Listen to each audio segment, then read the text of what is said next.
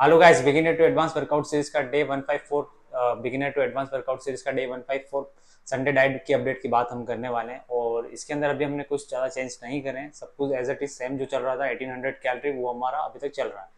और धीरे धीरे हमारा फैट लूज होते जा रहा है और मसल ग्रोथ जो हमारे को चाहिए थी धीरे धीरे वो हो रही है। जैसा कि हमेशा मैं बताता हूँ, आपको ये जो प्रोसेस होता है स्लो प्रोसेस होता है नेचुरल में अगर हम जा रहे हैं तो।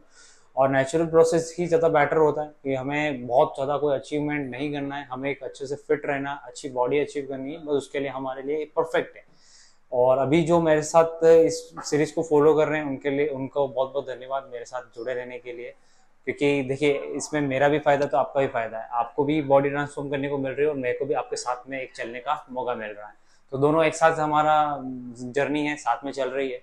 और अभी है जब हम कंपटीशन की, जैसे कि जब भी मैं कंपटीशन की स्टार्टिंग करूँगा मतलब प्रिपरेशन करूँगा, जब हम उसके बारे में डिस्कस कर लेंगे, क्योंकि ये जो प्रोसेस होगा वो करीबन आठ से दस महीने का प्रोसेस होगा कंपटीशन का।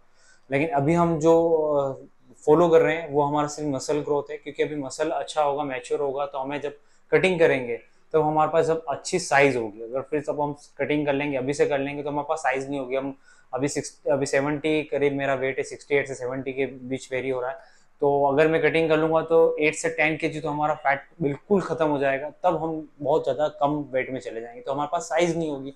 कम से कम थोड़ा साइज़ को तो वेरी कर लें हम। तो पहले साइज़ को कैरी कर लेते हैं, फिर उसके बाद हम फैट लॉस जब भी हमारी जर्नी रहेगी प्रॉपर फैट लॉस वाली, तब हम करेंगे। अभी कोई कंपटीशन की तैयारी नहीं कर रहे हैं। अभी सिर्फ़ हम मसल ग्रोथ का ध्यान रख रहे हैं। और फैट लॉस भी हमारे साथ में चल ही रहा है। तो ये इन्फॉर्मेशन थी।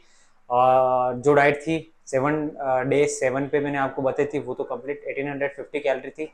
और उसके अंदर फिर एक बार और मैंने चेंज करा था वहाँ जाके संडे की डाइट में जाके चेक कर सकते हैं कि क्या क्या चेंजेस करा था। रेसिपी में आप चाहें जो चेंज कर सकते हैं, जिस तरीके से आप रेसिपी बनाना चाहते हैं, वैसे बना सकते हैं।